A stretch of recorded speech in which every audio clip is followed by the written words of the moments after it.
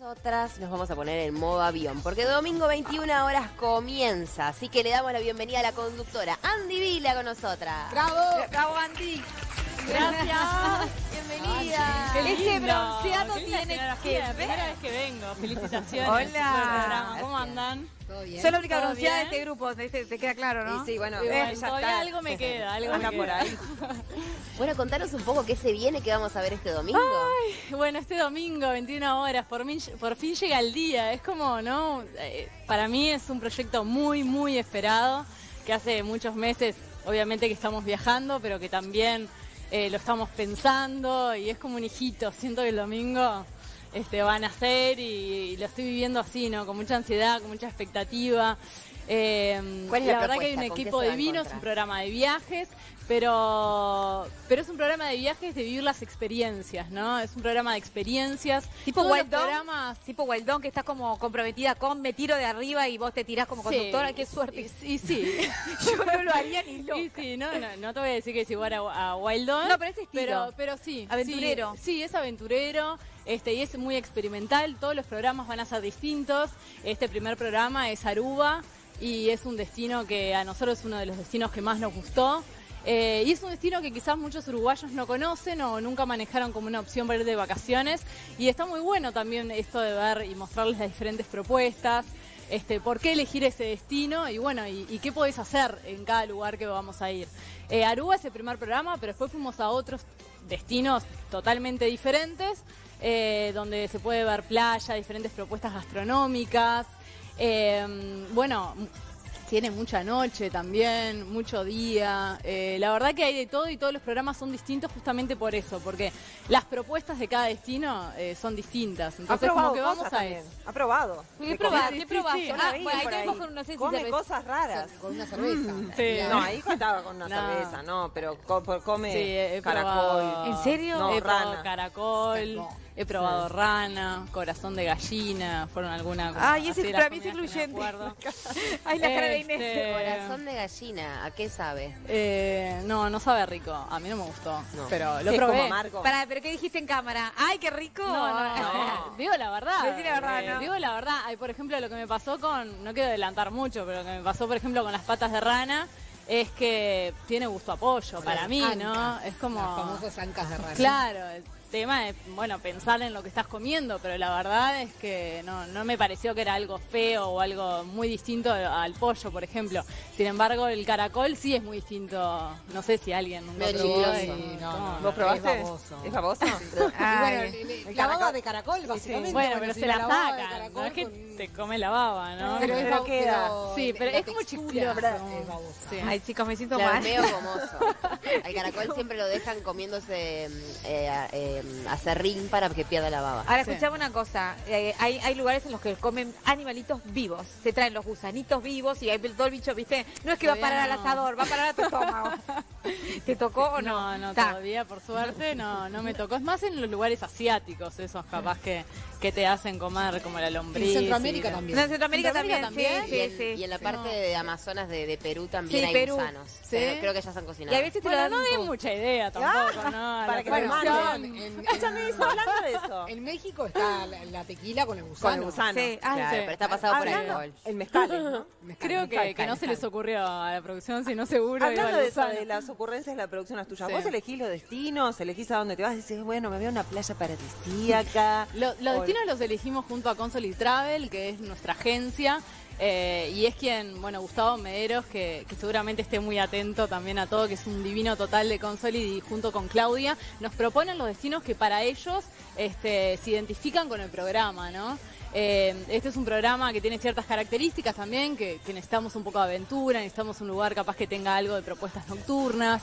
Entonces, eh, bueno, quizás este, si nos llevan a un lugar donde, es, no sé, Cabo Polonio, a lo mejor este, no, no, no podemos ir. No tenés mucha- Este, claro. Sí, pues no tenemos muchas propuestas como para mostrar diferentes experiencias en ese sentido.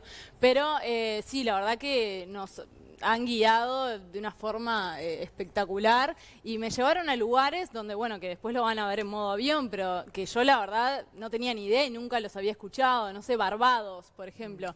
Es un lugar en el Caribe que es alucinante, que tiene muchísima movida, tiene mucho turismo, pero no del nuestro, sino que Claro. tiene mucho, muchos turistas de Inglaterra, Europeos. exacto, de Estados Rihanna, Unidos, eh, de Canadá. va mucho Barbados. Rihanna es de Barbados, es de Barbados. Fuimos a la casa de Rihanna en Barbados. siempre su Opa. natal. Fui- en Barbados fuimos a la casa de Rihanna y, y estuvimos hablando con los vecinos, este, con algún noviecito nos encontramos de Rihanna ¿O también. qué dice que fue Oh, novio? Oh, bueno, ahora cada uno Ahora los vecinos son son novios de Rihanna de Rihanna, es verdad, tenés razón. Y bueno, el caminito que hacía Rihanna para ir a la playa también los recorrimos.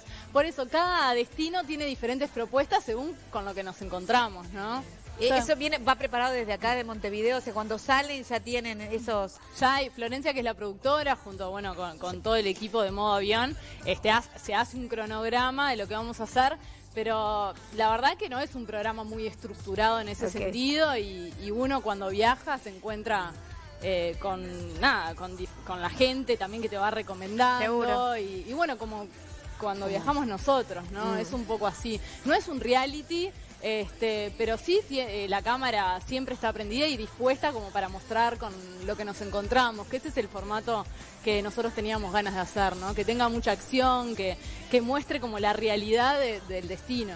Andy, pero también estuviste en Australia de viaje, estuviste Sí. un buen tiempo y no tenía exactamente algo que ver con modo avión, ¿o sí? No, no tenía. Eh, Australia en realidad ya, ya tenía los pasajes, ya, ya, era, ya estaba previsto ese viaje este, que le había prometido una amiga que se fue a vivir hace años ahí. Y bueno, cuando terminamos falladas, Sí. la gira, este, fui. Eh, De hecho, también aproveché para ir a una escuela de inglés y practicar un poco este, el idioma. No sé si me sirvió para mucho porque... Ahora te va a servir ponerlo en práctica. Sí, sí, pero bueno, soy muy mala para, para los idiomas, por eso lo digo, pero, pero bueno, por lo menos me dio herramientas también eh, para practicar y para viajar. Tenía muchas ganas también de tener esa experiencia de viajar sola y bueno, y después se iba a venir también todo un cambio en mi vida y tenía ganas también de, de vivirlo desde ese lugar, ¿no? No Claro. grabando, no con una cámara, sino yo viajando un poco. Y Vos más Andy, en relax. ¿y cuánto tiempo estuviste viajando sola? Un mes y medio. ¿Cómo un fue mes esa y medio. Ah, divina, divina. Recomiendo este, a todos los que nunca, este, o, o por miedo, o por, bueno, pero ¿qué voy a hacer solo? Este, también era algo que yo me preguntaba, ¿no? Este, a, a- a mí no es lo que más me ha gustado. Este, viajar sola y cuando tuve esa experiencia te encontrás este, ¿no? con, con otra propuesta. A ver, vas a, a- a lugares distintos y decís, bueno, me siento sola en el bar y ¿qué hago? Y siempre conoces gente. Y Es lindo igual es re- sola. Nadie viajó sola. Porque tenés ahí una- Mucho. Sí, vos Amo viajaste sola. sola, sí. sí. Bueno, hay mucha gente que se apasiona de viajar sola y después es complicado. Porque además que tenés gente. como una apertura al mundo. Sí. No te queda otra que hablar con la gente. Sí. Entonces estás como mucho más abierto y predispuesto Sí. a, a conocer historias y conocer Sí, personas. y estás sola, entonces sola para todo y eso también este, te conoces mucho, eh, ¿no? Estás como todo el día pensando y, y, y- y ves algo y, y también te valorás lo que es compartir, porque en realidad en ese momento estás sola, o sea, más allá Claro, de, de repente ves de una puesta de sol, ponele, y decís, qué Exactamente. divino, esto le podría Sí. decir a alguien, no tengo... Claro, bueno, me lo, bueno, me y lo sa- guardo. Y, y bueno, y ahí también podés pensar con quién lo compartirías, ¿no? Eh, ¿Tuviste que pensar bueno. con quién lo compartirías? Sí, claro. Ah, después le cuento las internas, no puedo contarlo al aire. Se lo dejo para Carballo. Ah, Adriana tenía mucha interna, No, mucha, Después mucha. te lo cuento. Bueno, pero entonces sugerí cosas a la gente a la hora de viajar, consejos. Sí. Ya, esto, esto y esto que no, no, no, no, no puedes pasar por alto. Sí, eh, sobre todo, más que consejos, es eh, que viva la experiencia de conocer ese lugar con nosotros. Y, y bueno, y ahí eh, es un popurrí de todo lo que tiene un viaje. ¿Qué tiene un viaje? Bueno, conocer gente, conocemos gente. También este, averiguamos si hay algún uruguayo en cada destino que vamos. Siempre Le llevamos un mate, hablamos. Siempre Siempre, hay. un uruguayo. Hay lugares muy específicos que capaz que no encontrás justo en ese momento, pero la verdad que siempre este, nos hemos encontrado con uruguayos o algún argentino, en toca, alguien muy cercano. Río de la. Plata, ponele. Sí, ahí va, alguien este, muy cercano a nosotros. Y también, ¿no? ¿Por qué elige ese lugar para vivir? ¿Cómo llegó ahí? Eh, después, bueno, diferentes propuestas gastronómicas, como ya dije, la playa. eh, hay de todo. La verdad que es con todo, tratamos de abarcar todo lo que podés hacer en un viaje, este, de una manera muy divertida, lo más divertido que, que pudimos, entretenido, es un programa de entretenimiento, más allá de que sea un programa de viajes. Y, y por supuesto que, que también te damos información del lugar, eso una cosa no quita la otra, ¿no? Pero es desde otro lugar, desde el lugar de vivir la experiencia. Andy, ¿sabés que mm, nosotros estamos esta semana medias abanderadas con el tema de la semana de el corazón. el corazón, exactamente? Eh, vos te cuidas mucho, eh, ¿cómo, mm, qué, qué haces habitualmente? ¿Comes, eh, te- ¿Haces ejercicio? ¿Tenés una rutina de comida saludable? Sí, yo me he acostumbrado a comer muy saludable. En verdad, tengo la suerte de que me guste la, la comida sal- sal- saludable. O sea, no me La gusta. comida sana. Sí, no. No soy la que, a ver, amo la hamburguesa con las papas fritas, o sea, las papas fritas sí me encantan por separado, pero después no, no, no me gusta en general la comida grasosa o La comida Sí me- chatarra, Sí, no, no, no, no me apetece, o sea que eso es una suerte, Claro. ¿no?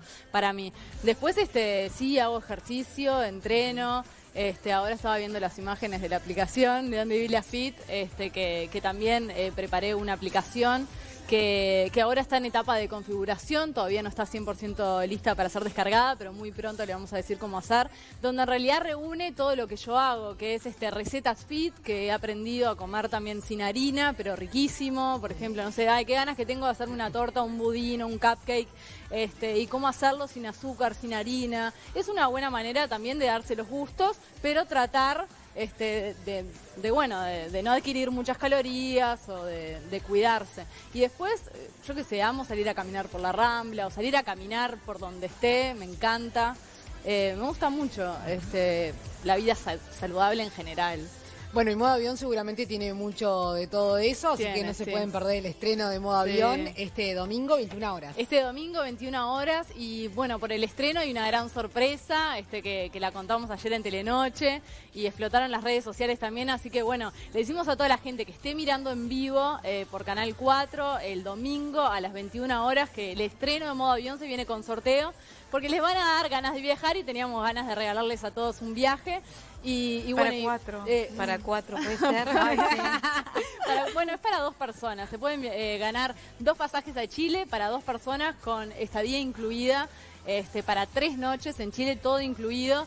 eh, la estadía y eh, los pasajes. Los pasajes son por Sky a Chile y bueno, y la estadía y todo por Consoli Travel. Y lo que tienen que hacer es mirar el programa, el programa en vivo, modo avión, a las 21 horas y contestar el primero en contestar tres preguntas sobre el programa que se van a decir minutos antes. Las preguntas este, se van a escribir en mi red social, que es Andy Vila con doble Y, y también tienen que seguir Monte Carlo Televisión y Modo Avión. Y ahí el primero en contestar las tres preguntas correctamente es el ganador. Así nomás. que- así No, nomás. lo tienen que, Ya me voy a preguntar. así que estén muy a atentos a las redes sociales. Andy Vila, muchas gracias y Gracias mucha mer. Disfruten mucho de ese, de ese ustedes. estreno y disfrutaremos todos entonces en la pantalla de Monte Carlo a partir de este domingo 21 horas.